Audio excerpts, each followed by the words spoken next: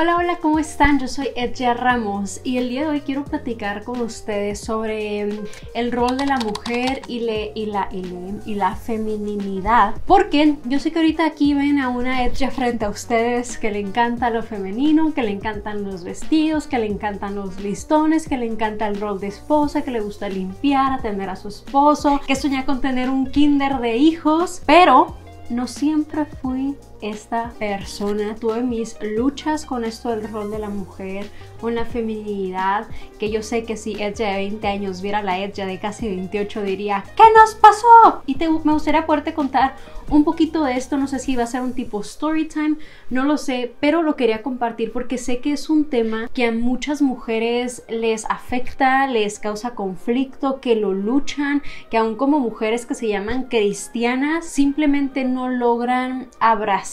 ese diseño de Dios o entenderlo y me gustaría contarte un poquito de mi jornada y de esas luchas que yo enfrenté, lo que aprendí, de lo que me di cuenta. No quiere decir que esta, lo que a mí me pasó va a ser la realidad o lo que a todas las mujeres les va a suceder, pero sí creo que tal vez te pueda ayudar a ti si estás luchando a tal vez cuestionarte el por qué estás creyendo lo que estás creyendo. Bueno, creciendo, siento que nunca me puse a pensar sobre esto, no era un tema que yo pensara en si quería, o sea, siempre decía que me quería casar, que, tenía, que quería tener hijos, más nunca realmente le presté tanta, tanta atención. Fue ya más cuando tenía yo creo que como 17, 18 años, cuando ya empiezas a notar más eh, cuestiones a tu alrededor, que empezó a cambiar mucho mi manera de pensar. Y primero te quiero contar lo que pensaba sobre la femininidad y después te voy a contar lo que pensaba sobre los roles como la mujer y después ya les cuento como que cómo fui cambiando eso hasta llegar al punto que estoy ahorita y qué es lo que creo el día de hoy. Pero primero con la feminidad, siento que primero luchaba mucho, o sea, para mí era como que yo no quiero usar vestidos, yo no quiero usar listones, no que me quisiera ver masculina o no como hombre ni nada, simplemente no me quería ver tierna, no me quería ver dulce, no quería que fuera como rosa y flores, no quería nada muy femenino porque de algún modo en mi mente eso yo lo veía como una debilidad, lo veía como, pues sí, como débil, pensaba que fuerte tenía que ser un atuendo o ropa que fuera más como, pues así como los, las, esas combat boots, esas botas como tipo de guerra, ¿no? Como, eh, no sé, como tal vez vestirme, tratar de verme un poquito más ruda. Y esto lo pensaba así porque tanto por las cosas de mi alrededor, ¿no? O sea, tanto en películas a veces las que eran como las más populares o las que eran las deseables eran sexys o eran rudas o eran fuertes o tenían como, eran como edgy, no eran tiernas, no eran dulces, no eran amables y a una persona tierna, a una persona sumisa se le veía como alguien débil, como te van a pisotear, siempre era como que algo tan negativo que por lo tanto yo luchaba muchísimo por no quererme ver tierna, no me quería ver ajá, como que así, no me quería como niña buena, no quería nada de eso, quería todo lo que fuera opuesto a ese look. Entonces ese es por un lado y esto fue como les digo, desde eso sí, yo creo que fue como desde los 16 hasta como los 20 años, más o menos por ahí que estuve como en esta rebeldía en contra de verme femenina, de verme así. Después, con el tema del rol de la mujer, la verdad no me acuerdo como que el día así que dije esto no, pero fue pasando el tiempo, pues de tanto que escuchas, ¿no? A nuestro alrededor y todo esto, yo decía como yo ni loca me voy a quedar en la casa, o sea, yo ni loca me voy a dedicar a la casa, yo quería ser una mujer exitosa, una mujer de negocios, una mujer allá afuera, o sea, yo no le iba a servir a nadie, a mí no me abran la puerta, yo no necesito que nadie me abra la puerta, no me tienen que dar flores, o sea, era como con esta actitud muy como rebelde, muy como en contra de servirle a alguien más, en contra de quedarme en mi casa, en contra de depender de alguien más económicamente. Y creo que eso nació mucho tanto por inseguridades, por miedos, por lo que escuchaba a mi alrededor. Por inseguridades, por un lado, para mí me era más fácil decir, yo no quiero que alguien me abra la puerta, yo no quiero que alguien sea más caballeroso, que alguien sea caballeroso conmigo. Y era esa inseguridad de sentir que tal vez nunca lo iba a poder tener, después me di cuenta de esto, ¿verdad? De mi inseguridad de pensar que nunca iba a poder encontrar a un hombre que me tratara como una princesa, mi, mi mecanismo de defensa era yo no quiero eso. Y luego también era como que esa, pues era esa inseguridad,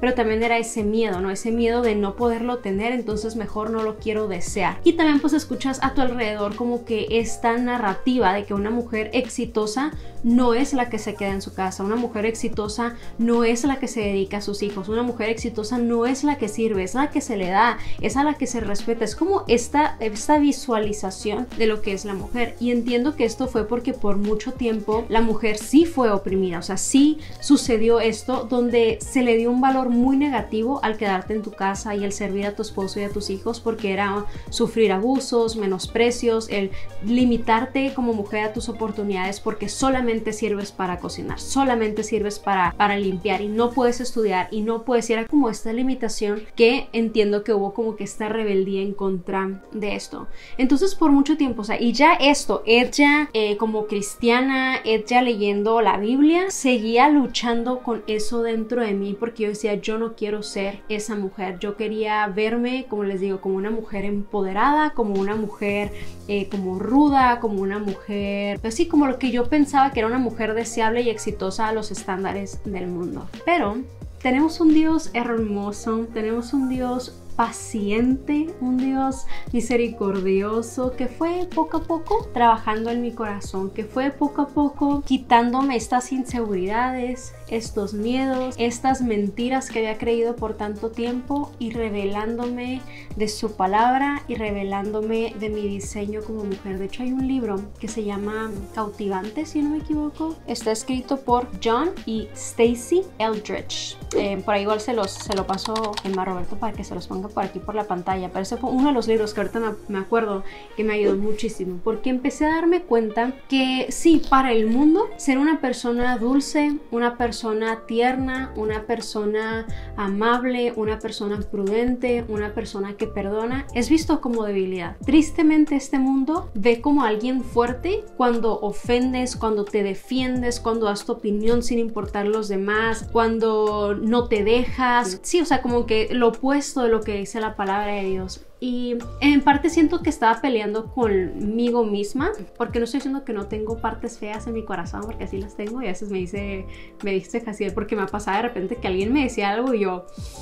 y nada más lo pensaba y me decía, no vas a decir nada, porque me dices que haces pues, o sea, ser mean, como ser como ruda con la gente. Digo, no que se los voy a decir, pero lo que quisiera salir de mi boca es rudo, pero no, no se los digo, me aguanto. Entonces, pero sí pienso que mi personalidad es más como tierna, dulce, con todo lo que yo me peleaba, porque yo lo veía como una debilidad. Entonces, lo primero fue empezar a ver quién soy a la luz de Dios y a la luz de la palabra. Y aunque, o sea, tristemente y aún dentro del cristianismo a veces he recibido comentarios como minimizándome o minimizando eh, o haciendo comentarios como que soy débil o cosas así por no contestar a las personas, por no pagar mal con mal, por decidir ser prudente, por decidir no ofender a alguien. Pero yo digo, no, es que toma mucho más fortaleza. O sea, es más fácil ponerte en un video y criticar y ofender a una persona que no hacerlo y retener eso. Es más fácil que cuando alguien te ofende, tú lo ofendes, que recibir la ofensa, tragarte tu orgullo, tener prudencia y dominio propio y no devolver esa ofensa. Es más difícil ser amable, es más difícil porque es en contra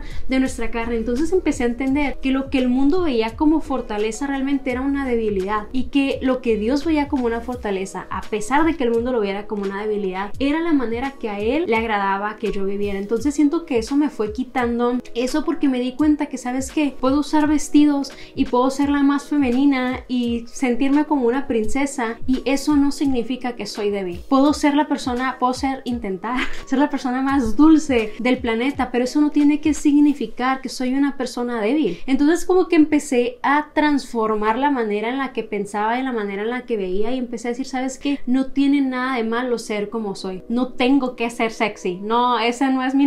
no es mi naturaleza. ¿No? O sea, y no tengo que ser lo que pienso que deben de ser las mujeres. Puedo ser quien Dios me ha diseñado a ser como ella. Lo especial que a mí me ha dado él como ella, como persona y me di cuenta que tanto tiempo luché en contra de lo femenino, pero es donde más me siento cómoda, es lo que más me encanta. De hecho,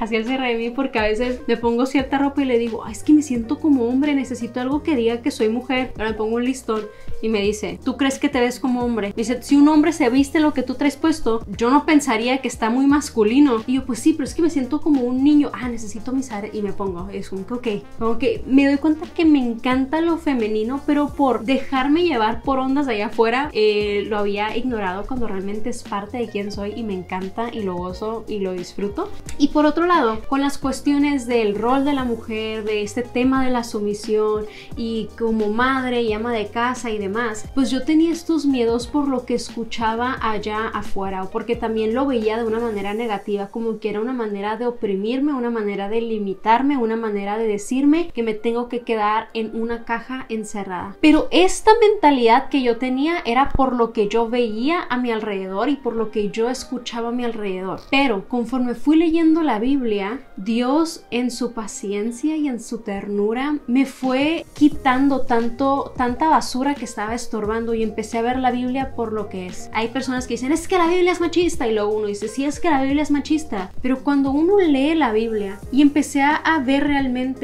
la manera tan especial y tan valiosa en la que Dios diseñó a la mujer, en la manera en la que habla de la mujer, me empecé a dar cuenta que el rol de la mujer no era para oprimirme, que el rol de la mujer no era para limitarme, que el rol de la mujer Dios lo había diseñado y que era la manera en la que yo mejor podía florecer. No siempre es fácil, como nada en esta vida, ni el rol del hombre, ni el rol de nadie, no, no es fácil, pero era donde yo mejor podía florecer. En ese libro de Cautivante explica tanto, o sea, lo tienen que leer, de verdad, tienen que leer. Hay una versión para hombres que se llama Salvaje de Corazón o algo así, igual de John Eldridge, em, no sé cómo se pronuncia su apellido. Elder G, se escribe, no sé. Y empecé a darme cuenta que había, o sea, que al esposo llama a la esposa a tratarla con ternura, con delicadeza, con amor, con sacrificio, de valorarla, de respetarla, de protegerla. yo dije, eso yo quiero. Y empecé a darme cuenta que ser una mujer a la luz de la Biblia no era una mujer débil, no era una mujer frustrada, no era una mujer incapaz. Todo lo contrario a eso. Y después dije, ok, y si yo quiero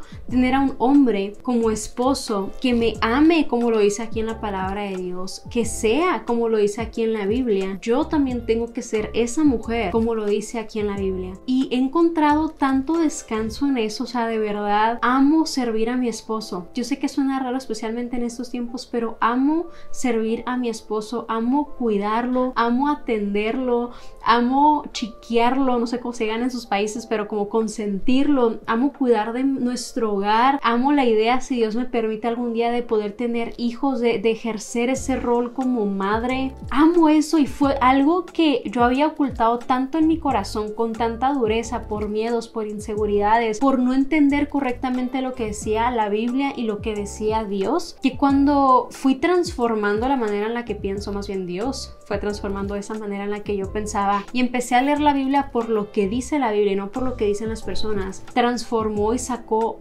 este lado de mí que yo no conocía, que por muchos años oculté, em, que digo gracias a Dios fue antes de casarme porque siento que hubiera luchado mucho si hubiera entrado con esa mentalidad al matrimonio, que ahorita lo veo y le digo Dios gracias porque amo, amo esto y, y por eso también como cada vez más quiero compartir de esto en redes sociales porque creo que ya hay mucho de esta narrativa de esta mujer como de bad girl y que el mundo y sus sueños y que tú empodérate y no en tu como que este rol donde digo, también es bonito, o sea, si tú quieres estar en las empresas, súper, pero no se tiene por qué pelear con los hijos. O sea, yo crecí, se lo voy a decir rápido para no alargar tanto esto, yo crecí viendo a una mamá que cocinaba, que limpiaba, que atendía a los hijos, que atendía al esposo. Nunca la vi frustrada, nunca la vi amargada, nunca la vi limitada. Mis papás tuvieron empresas, tuvieron negocios, mi mamá viajaban con nosotros, o sea, nunca vi una mamá incapaz de nada, o sea, nunca la vi limitada por eso y siento que también eso me ha ayudado ahorita a verlo como yo no lo veo como una limitación de hecho estoy, escribo y hago videos y contenido y hago entrevistas y hago tantas cosas, pero también sirvo en mi hogar y es hermoso y es maravilloso y hay valor en eso y mi esposo ve el valor en eso, o sea, hay algo hermoso en todo eso. Entonces, pues nada, simplemente quería contarles un poco de mi historia, un poco de mis luchas, un poco de dónde estoy ahorita y cómo llegué a este punto y gustaría escucharles a ustedes en qué punto se encuentran ustedes en este momento con el tema de la feminidad, sí, y del rol de la mujer.